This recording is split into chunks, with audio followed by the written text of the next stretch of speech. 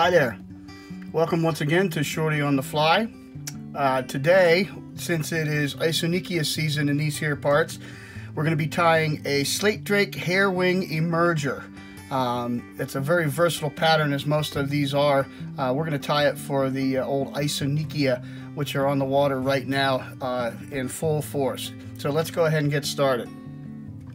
So for my hook today, I'm using a size 12 Klinkhamer hook, which gives us that beautiful profile of letting the back end of the fly hang down into the water while the uh, while the wing is and thorax are setting right in the surface. Film makes it a great look.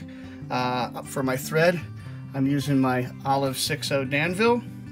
So we'll go ahead and get that started in the usual fashion. And I'm going to run the thread right back to about where the bend starts happening around the edge there and then trim away the waste.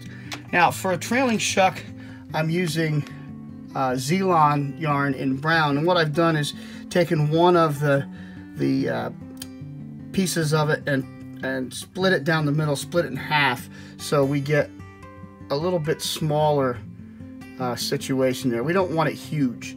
So and then the deal is come in and even up the tips which makes for a much easier tie-in Right now place the material right above where the thread is and do a pinch wrap to secure it.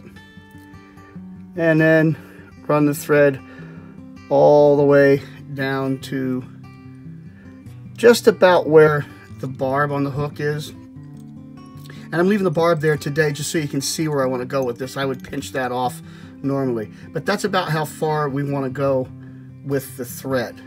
All right. Now come in and trim the shuck off about a hook gap in length. That looks pretty good. And then just take a wrap or two to get your thread situated so that it doesn't jostle that shuck out of place. Now for my, my abdomen today, I'm using um, René Harrop uh, dubbing in mahogany color, but any color that you have that uh, duplicates that uh, mahogany colored slate drake or isonychia will do. And what we want to do is, as always, we're going to put the dubbing on the thread in small amounts. Okay, we don't want to get crazy with it. As I have said so many times before, when you're dealing with dubbing, less is more. It's easy to put more on than it is to take it off if you have too much. This is an easy fly, fly to tie, by the way. Um, just a couple of steps here. So I think we have just about enough. And if we don't, we'll come back and put a little bit more on. So now, let's tighten that up a little bit. Now we're just going to start running our dubbing our and our thread right back up the hook shank. trying to create a little bit of a taper as I go.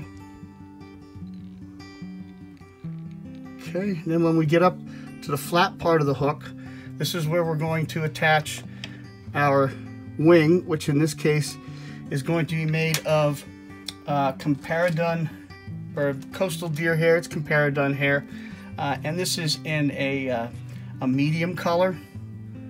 Okay, and I've already taken it off and put it in, but I'll show you in the stacker, but I'll show you what I'm doing here.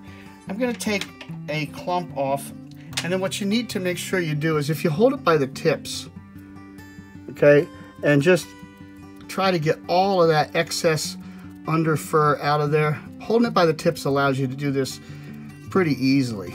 Okay, so we did that. I already stacked it so you don't have to listen to me whacking the stacker on the desktop here. And then I'm gonna pull my hairs out and situate them on the hook so that the wing is going to be about the length of the of the hook right to the back edge of the hook there and now I'm I'm hanging on to these I'm not gonna wrap real hard. I'm going to take like kind of a collecting wrap and then pull straight up to situate things. And I'm going to start wrapping through this. I found this is the best way to get this hair to stay on the hook without spinning around, especially when you're going to cover the thorax up with dubbing as I'm going to do. See, that it's on there good. It's not going anywhere. And now you can start to pull the rest of those, those hairs up and out of the way. You're always going to have a few stragglers. We might have to come in and get those with the scissors at some point. And then to the best of your ability, try to hold all of those fibers above the hook and come in and try to trim them out and maybe we get lucky and get just about all of them. I got just about all of them. Just, just a couple little stragglers here that we want to deal with. All right, and that's just fine. Now just take a couple of wraps to kind of neaten things up and give yourself a good landing pad for the thorax. And in this case, I'm using um, the SLF Prism Dubbing in light gray. I just like that little bit of extra shimmer, that little extra kind of wink at the fish situation that this allows you to do.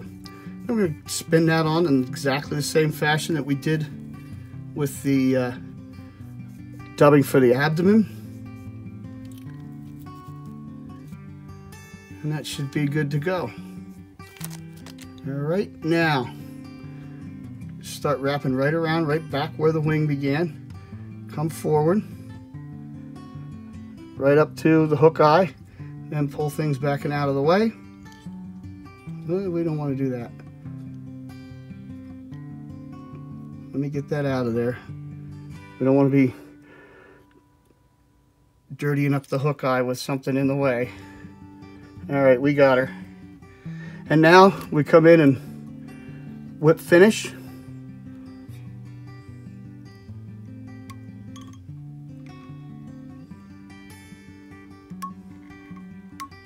And there you have it. And I just want to show you that that those two little wisps are sticking out over there, but the eye is clean, as you can see. So we're good to go. So there it is. There is one regulation Isonychia or slate drake hair wing emerger. Uh, I use this when the fish might be a little bit picky and this sets in the water so nicely and sits that, sits that back of the abdomen below the water in such a way that it really looks like a struggling insect. You can see it's got a really great profile for that. And again, uh, with most of these, you can alter the body material and size of the hook to suit whatever uh, insect you're trying to uh, duplicate. But this one works really well for me, uh, especially at this time of year. So, as always, if you enjoyed it, like or subscribe, leave a comment. We always love hearing from you. Get out on the water. The fishing's great right now. I bid you peace.